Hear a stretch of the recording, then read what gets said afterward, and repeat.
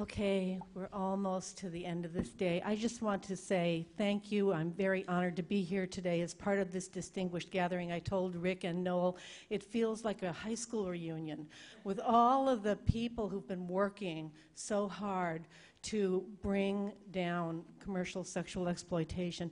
And I wanted, I, I want to say um, thank you, Lisa, for mentioning me, but I also stand on many shoulders. Um, um, I was the youngest member of the committee uh, for missing and exploited children that uh, Dr. Judith Reisman formed, which turned into the National Center for Missing and Exploited Children. That was many, many years ago. We've been in this battle a long time. And then I want to say a special thank you to Shelley. Um, and I'm going to talk a little bit about why it's so important to hear from Shelley and from, from others like her. Um, most of us have been involved in this work for a long, long time. Some of us teaching about the new dangers of the internet to children. Some are examining the creep of violent pornography from the fringes of our social fabric to the center of our social fabric. Some of us are studying the national and foreign national law addressing. Um, sorry, I've got to get my, got to figure out whether I should wear my glasses or not. Addressing the buying and selling of human beings, including young children, for purposes of sexual exploitation. Yet all of us know that although we are working on a single issue, they're all of the same cloth. They're all forms of commercial sexual exploitation of women and children, a lucrative industry that benefits some and badly hurts many, many others.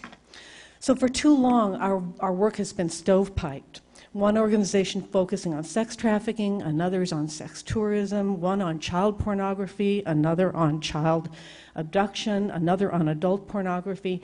If our challenge at the end of the 20th century was to recognize that um, sexual exploitation was a growing phenomenon, the crime of choice, for international criminal enterprises. Our challenge in the 21st century is to link up all of our various efforts. We must do it. We have to make the connections between the various forms of sexual export, exploitation, sex trafficking, and sex slavery. And we have to organize across the barriers.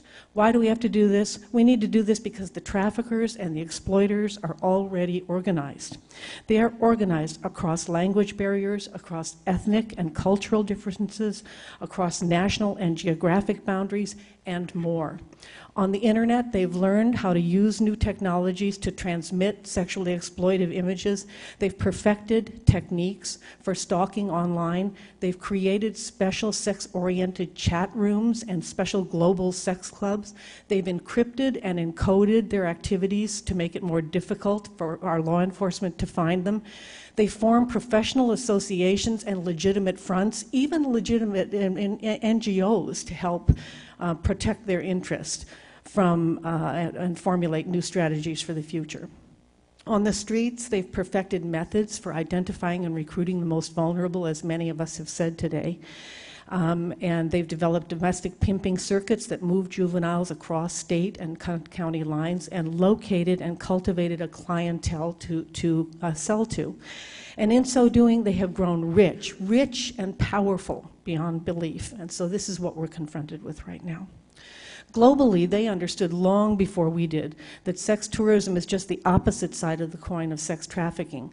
In the latter, you transport the women and children to where you want the, to the buyer. In the former, you transport the buyer to the women and children. And they've identified whole countries usually resource poor, where the most heinous crimes can be committed without with hardly a blink of an eye, with any, without anybody blinking an eye. And they've identified other countries, usually resource rich, where men will spend money to travel to commit unspeakable acts.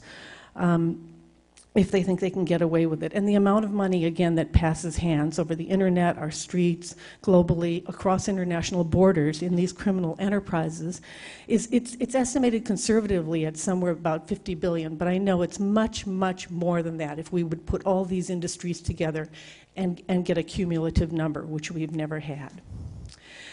Um, so this panel was about pornography as a driver of demand for prostitution and sex trafficking. And when, when, when I talk to women like Shelley, who have been victims of commercial sexual exploitation and sex trafficking, they always tell me that we will never have success in eradicating sex trafficking unless and until we tackle the cultural messages of pornography and related materials that are encouraging this exploitation and abuse. These messages are aimed early at men and boys telling them over and over again it's okay, indeed, it's natural and normal to use and exploit females. And they're aimed at young women and girls to say it's glamorous, sexy, and chic to be used, abused, and exploited. Now, 30 years ago, Robin Morgan said pornography is the theory and rape is the practice. But as I've worked on this over the years, I've realized she only had it half right. In reality, pornography is the theory and sale of sex and sexuality is the practice. In fact, pornography is a brilliant social marketing campaign for commercial sexual exploitation. Social marketing began as a formal discipline in 1971, and I owe Judith Reisman again um, uh, for this. Um, uh, this was in an early interview that I did with you 30 years ago um, uh, uh, with the publication of a book called Social Marketing An Approach to the Planned Social Change in the Journal of Marketing by marketing experts Philip Kotler and Gerald Zaltman. And speaking about social marketing and social marketing campaigns, Kotler wrote It's an organized effort conducted by one group, the change agent which attempts to persuade others, the target adopters, to accept, modify, or abandon certain ideas, attitudes, and practices.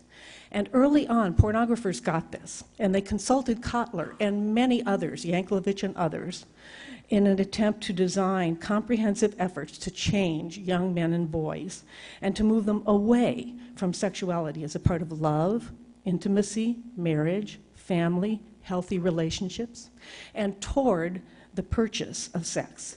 And these life and lifestyles were necessary, changes were necessary if their businesses were to flourish. In other words, commercializing of sex and its twin, the exploitation of sex, were necessary in order to keep men buying these magazines. One feminist calls it the prostitution of sexuality a phrase that makes clear the commodification not just of women's bodies, but of sex and sexuality itself. And um, this is another thing that feminists had wrong. It's not just women who are hurt, all of us are hurt. Men, women, children, our families, we're all hurt. So the exploiters have perfected their social marketing techniques, and we've got to reverse engineer We've got to create our own social marketing campaigns. We've done it before in other industries that were destroying lives. We figured this out, so we can figure it out in this one. I think cigarette smoking is a perfect example. We had 40 or 50 years of cigarette smoking where it was cool and you know, it was uh, considered just a, a, normal part of what we did. Every movie star smoked, and, and uh, you, could, you could find um, everyone smoked. But as soon as we found out that it was harmful, and we had about uh, 20 years of studies that were funded by the government to prove the harm of smoking, then the government, the U.S. Department of Health and Human Services, in conjunction with NIH and CDC and other health agencies, funded a series of studies to look at the efforts to reduce uh, cigarette smoking. What would, what would help? They noticed that tobacco use usually begins during adolescence in young adulthood, and they agreed that preventing smoking initiation among youth and young people was critical to reducing the tobacco smoking in, in the US.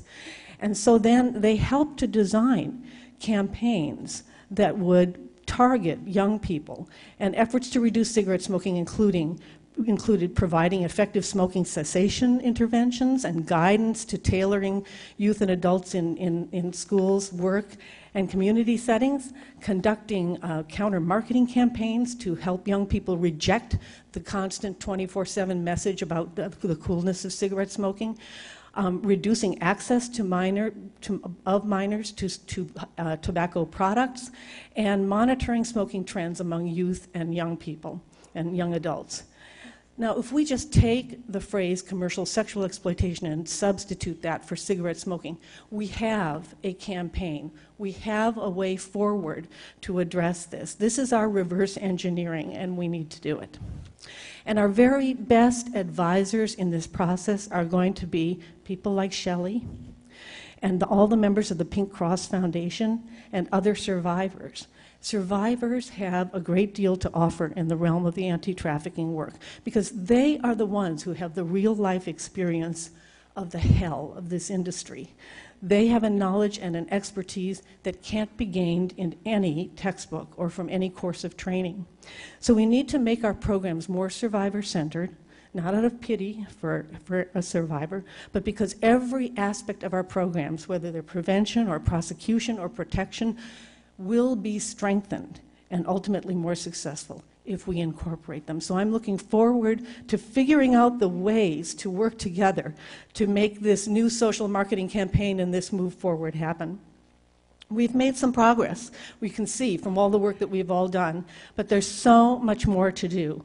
Two centuries ago, U.S. citizens organized an abolitionist movement to eradicate African chattel slavery, and today we are building another critical mass of people to abolish these new forms of contemporary slavery. We've got to learn to coordinate and collaborate. I love the clapping where we got ourselves together and to work toward a common goal, and if we do, we will surely succeed. Thank you very much.